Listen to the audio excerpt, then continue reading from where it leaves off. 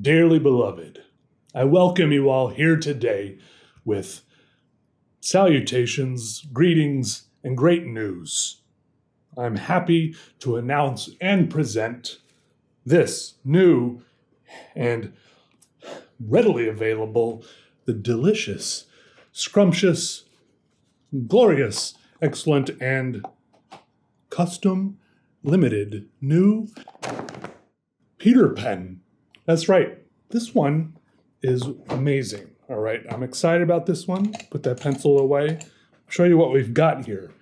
Uh, where to start? All right. As you can see, there's four different nib types I have here to show you. Fine, medium, broad, and stub. Custom box art made by me. As with all these Peter pens, I like making these and putting my name on it because I get to have such a um, integral part of all the customization and everything. So here you have it, the Peter pen. Excuse me. It opens up. It's a Nahvalur. And in there is the pen. Comes with a little wrench for adjusting the piston if you need to. Beautiful. Slides back in. Has a little pull tab right there, made out of silk or something wonderful. And look at that. I made a doodle, I drew a picture, and it was engraved on this clear pen body. So it's a cool transparent pen, but you can see through it and see the lines going around it on both sides. As always, it has this built in piston converter for sucking up ink. It holds the ink inside of it so you don't have to you don't have to buy uh, cartridges or anything. That it's beautiful. The lid comes off. Here it is. This is the stub nib. Nice black nib, black accents on everything. Yeah. It looks cool. What do you think? And you can and you can feel the lines too. There's a there's a texture to it. So there's a tactile element if you're into that sort of thing, which which I am. Very much so.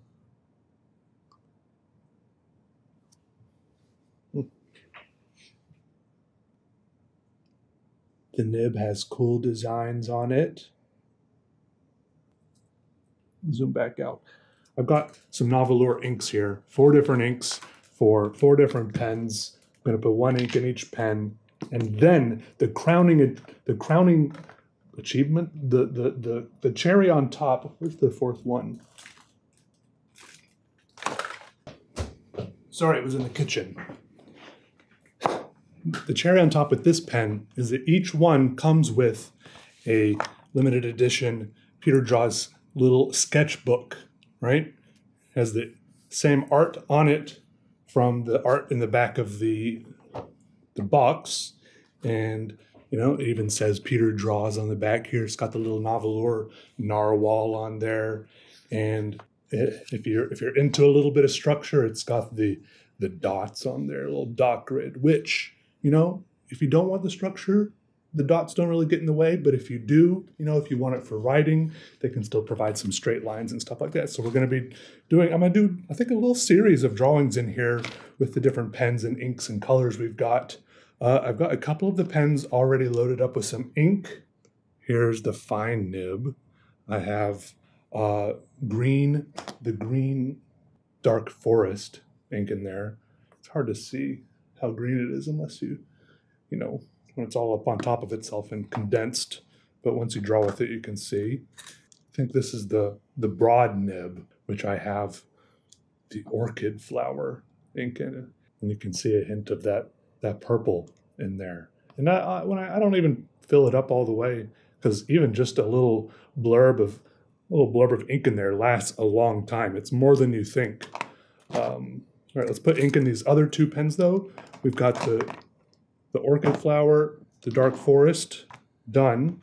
How about the for the the stub nib, the Atlantic blue would do good. I'll show you how to fill up the pen if you've never done it before. It's very easy.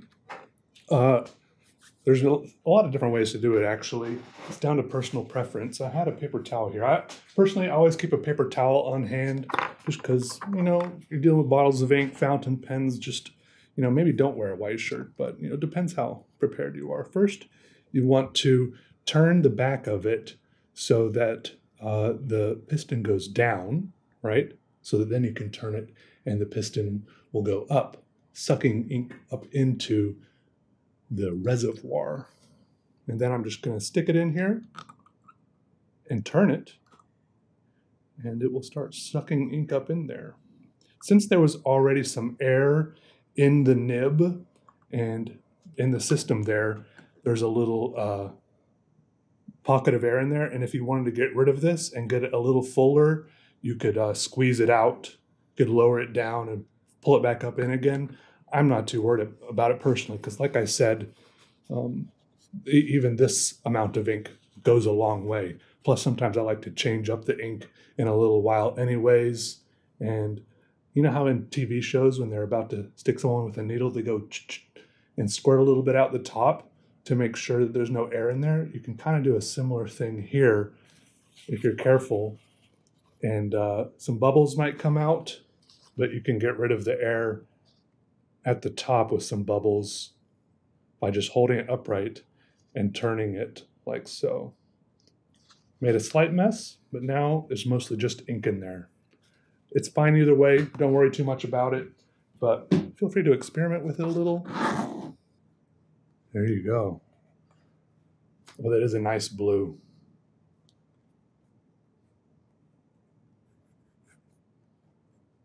Blue with the stub nib. Peter pen. Get yours now. There's a link in the description. There's only 500 of these available, and then they're going to be gone forever. So go get yours now. Thank you to everyone who has bought them in the past.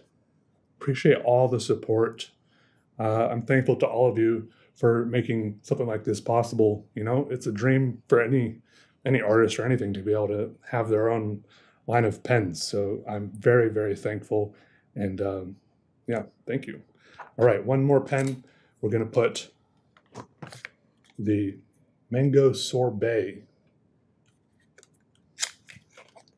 kind of an orangish hue, a burnt orange of sorts, in the medium nib. Let me put the cap back on the blue first. Leaving a ink nib, I mean an ink bottle uncapped. Sometimes you live to regret it, sometimes you don't.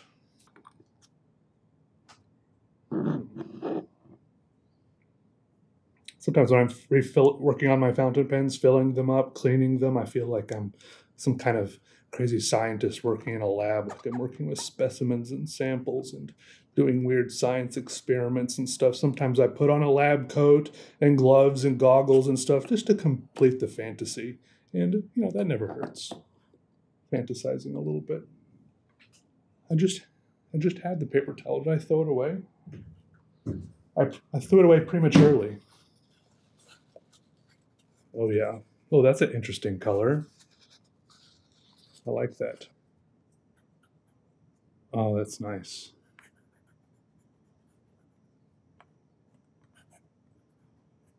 It's a much lighter ink, but that's not, that's what you want sometimes. It's good to have variety and options. Peter, pen. I'm bad at writing and talking and thinking at the same time. Medium. Interesting. You get light lines when you go fast, but if you go a little bit slower and push down a little bit, the ink will flow. The nib flexes a little bit too if you push. If you want darker lines and a little bit more ink flow, so you've got options. Let me know if you have any questions about the pen. Remember, link in the description. Get yours now and get your uh, limited edition sketchbook with the pen, the box, the whole shebang. All right, let's do some drawing now Let's see what we've I've already got one one drawing in here with the the forest the forest green is that what it's called dark forest. And so let's do some more. Some things I do with a lot of my sketchbooks that I'm drawing with fountain pens that put down a lot of ink is get a little piece of paper to put behind the page to catch any little droplets. So that's probably what I'm going to do here. I do that with my other bigger sketchbook too. So it's kind of a habit. All right, let's go. All right, so I'm going to do five, I don't know, just, uh, just to do a bunch of nice fun little doodles here in this, this sketchbook. And you get the sketchbook with the pen. It comes with it, no extra charge. And once again, this pen is a collaboration between me, Nahvalur Pens, and Goldspot Pens. So thank you to them for working with me on this. It's been great. And like sometimes companies try to work with me and it's very impersonal. It's just a bunch of emails or something. But these people, uh, like I've met Frank from Nahvalur Pens at a pen convention once here at, at, at Raleigh. That's one town over in North Carolina. I talk to Kieran from Goldspot all the time on the phone. And uh, so they're just um, great people to work with. And I'm gl- really glad for the opportunity. And so thank you to them and thank you to all of you just for for people who buy the pens or just for watching my videos and tuning in, the people who leave comments. I know a lot of you leave comments and I don't get around to uh, replying to them all, but I just I read them all. I promise. I'm sorry that I don't reply to more of them. Uh, but thank you, and let me know if you have any more questions about the pen.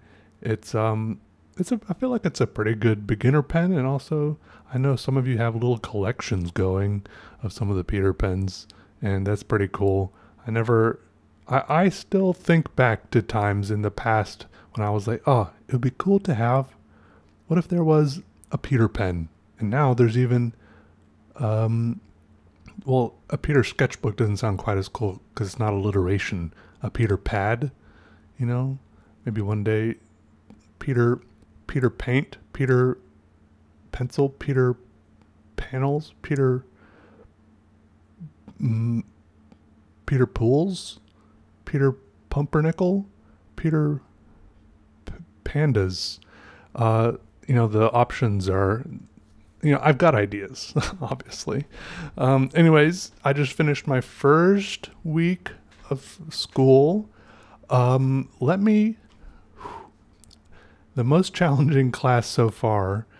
Uh, well, I've only yeah, I have three classes. I think I've told you this before. Let me look. One of them is figure drawing. Only been to, you know how the first week of school is, right? Uh, like the first day, you're always just like sitting there. It's super boring.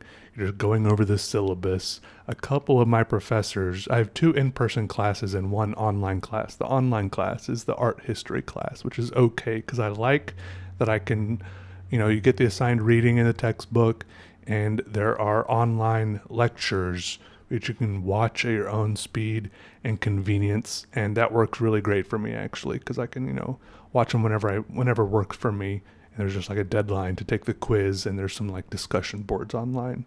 Um, but the the two classes I have in line, I mean in person, these the professors they um. I mean I.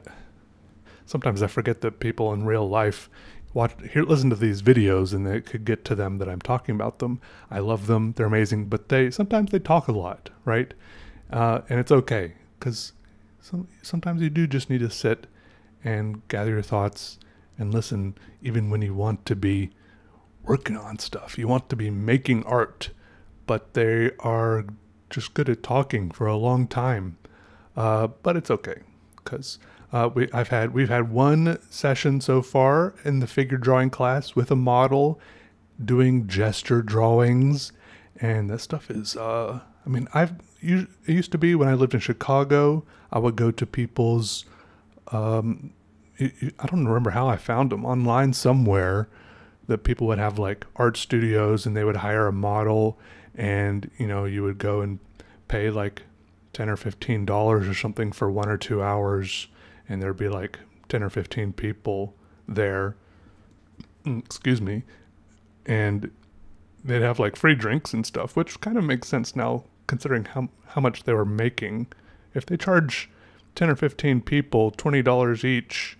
And I think the models probably only get paid like $20 an hour. They're making a pretty good profit. But I mean, I guess that's the advantage of having a studio space, uh, which also costs a lot of money. So who knows? You know, more power to them. Uh, it would be cool to have my own studio space sometime and be able to organize something like that. Anyways, uh, but like I used to go to some figure drawing sessions in Chicago, and then when I lived in Wilmington, North Carolina, the local museum had a similar thing. Like, and the thing about the figure drawing sessions I used to go to is that there was no instruction whatsoever, right? It was not, there was no criticism or anything. It was just like go and draw and do whatever you want. Sometimes there were short poses, sometimes there were long poses, because sometimes it seemed like the majority, you know, if it seemed like the consensus of most people, like if there was a bunch of people that were like, oh, I want to, uh, I want, I'm working on an oil painting or something, and it's just going to take me a while. So, so, sometimes it was ridiculous. Like people were like, I want to do a two hour pose, you know, and then the model would have to like be in one pose for the whole session you know, obviously taking breaks, and they would like put little tape marks on the on the podium to mark their uh, spot, and you know, so they could come back to the exact same pose after the break, and then everyone would be nitpicky about how they weren't sitting in the exact same pose or moving slightly over the two hours. It's a difficult thing, uh, but I would usually get very bored and leave early for those. I like it when the poses are like five minutes or less usually. And thankfully, that seems like what we're at, where we're at so far with this figure drawing class at school. We're just doing the figure, we're doing the gesture drawing, which are very quick, um, immediate, like just getting the essence of the form, the shape of the person down on the paper, right? Uh, but it's more challenging than I expected. But it's I'm also thankful to have actually some instruction and you know like some feedback. The uh, so I'm looking forward to that, and yeah, it's cool. It's cool. Um, yeah, the other class, the the sculpture class, is uh the uh, today is I'm recording this on a Tuesday. No, well it's Tuesday. I thought it was Monday, but it's out. It's 1:30 a.m anyways, tomorrow, no, in two days, well, soon I'm going to get the work that she's going to tell us the first assignment. So then I'll know how to feel about it. All I know is it's going to be the medium that we're going to work in is wood, and I'm a little apprehensive about that. Um, but I'm trying to reserve judgment until I get know what the assignment is exactly. I don't know. Wood is for some reason wood isn't my favorite material to work in, but I that I know that that's a bad attitude to go into it with. So I'm trying to go into it with a good attitude and know that there's still for for one problem there's a the the wood workshop at school is pretty nice. It's just when you have I think our class probably has like 16 people in or something and it just gets really cramped really quick when there's 16 people in there. And I don't know. I'll figure it out. It's going to be okay. I just keep telling whenever whenever I start having too many negative thoughts or start worrying about the future, just tell myself it's gonna be okay, it's gonna be great, and I feel I find I think a lot of my problems often come from not telling myself that enough, uh, because if if I go into a situation already deciding that it's gonna be bad, that drastically increases the chances that I'm not going to enjoy it or I'm not going to get the most out of it. But if I go in thinking it's going to be okay, actually actually determined that it's going to be okay, then the chances are actually pretty great that it might be okay. So, yes, it is going to be okay, and I'm, and I'm going to make some cool sculptures out of wood. Actually, I have an idea of in, somewhere in my head. I don't know if it will be this one that I'll make some kind of sculpture uh, out of wood. May, maybe this maybe should be a metal sculpture, but something about how it has like some gas lines attached to it, and then it, it ignites. And maybe if it's a wood sculpture, it will somehow have these torches attached to it, and it will somehow consume itself with its own torches. So it'll be kind of a performance piece in that sense. That like it will only exist once. That it'll be a sculpture, but in its truest sense, it will be when it destroys itself. Also, I don't know. I have. I just want to attach gas lines and have fire coming out of a sculpture. If I make it out of metal, then maybe I can make it some sort of weird, um, ritualistic thing, where in the center of it you can put things, and the sculpture can like burn things that you put in the center. I don't know. That's just that's some ideas that are in my head for some reason. I don't know. Is that art? I don't know. If I just have ideas about things burning. um, anyways, thanks thanks for watching, everyone. That's where I'm at. Soon, um, I'll, give you a little update. Uh, maybe I'll try to tell you about what I've been learning in my art history class because if I try to regurgitate it to you, maybe without looking at my notes, that will be a good way for me to study and see how much I have retained. Uh, yeah. Anyways, goodbye. Thank you to everyone who buys a pen, and hope you're all doing okay. All right, I believe in you. It's gonna be okay. I, I'm I'm sure of it. I know it. All right, all right. Goodbye, goodbye, goodbye. Okay. All right. See you. Okay. Okay. All right.